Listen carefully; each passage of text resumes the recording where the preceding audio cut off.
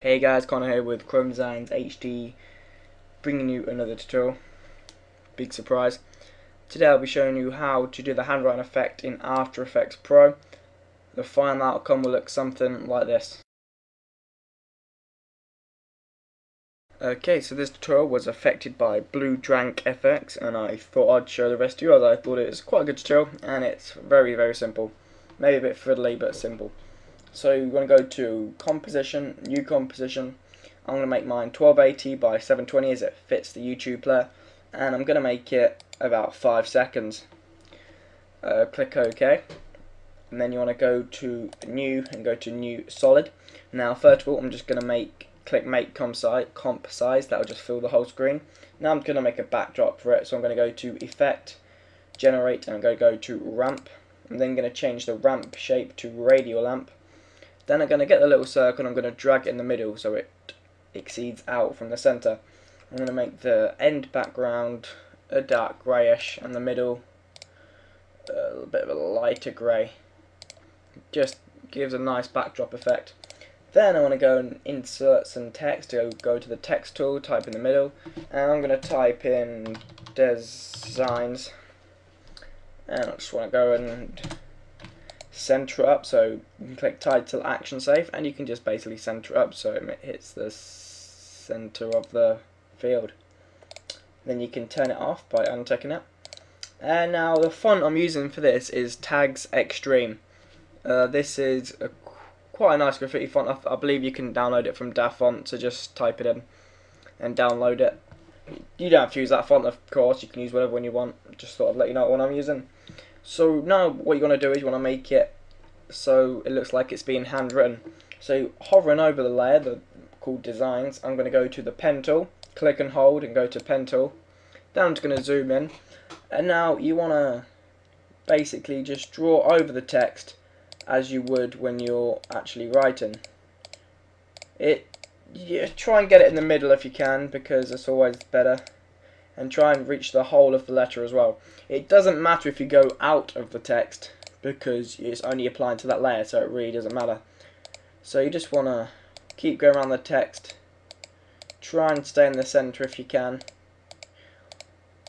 It's Not the biggest deal in the world but does look a bit better. And now I'm going to go to the top and start with I went over so I go the S. I like to start from the point that you actually would when you're handwriting. So I start from the top of the S and I'm going down. And then I'm going to go to the bottom of the I. Just go around the text doesn't matter about going on the outside as I just said. Go to the I and then dot on the I. Then I'm going to go to the bottom of the G.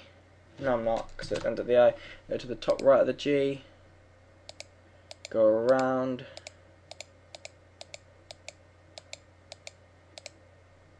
Go up, and then go back down. Just fill the whole text, then go there, go to the top. And back down. And back up, then go round. I'm going to go to the little S. Just keep following the little lines.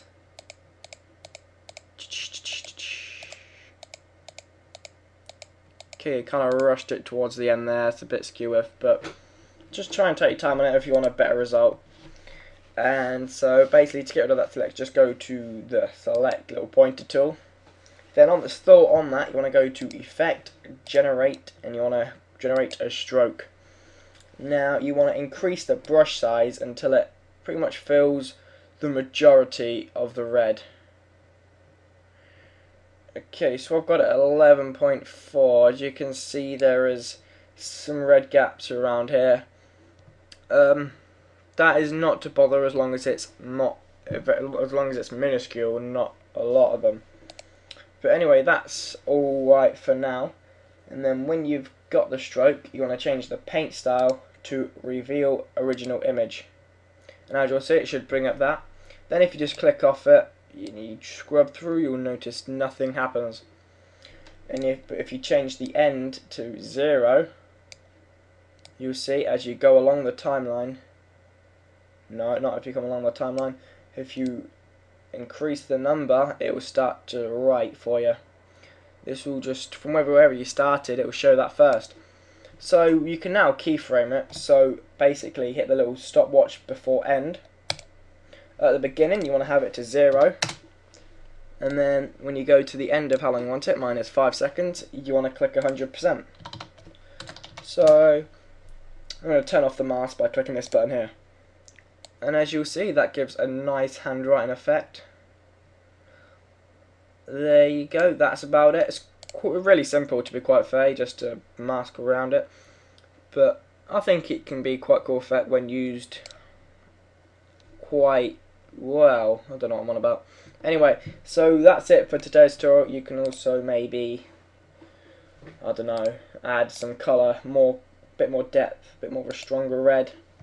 If you go to, you can go to four colour gradient, position and colours, and just make it different shades of red. Um, top, red.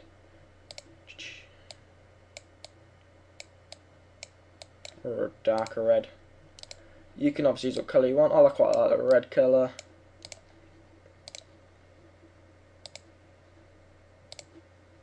And there we go. That's about it. It creates a bit. You can drag these about, so it's all different. Everything anyway. That's it for today's tutorial. Uh, comment, rate, subscribe, and I'll see you guys later. Bye.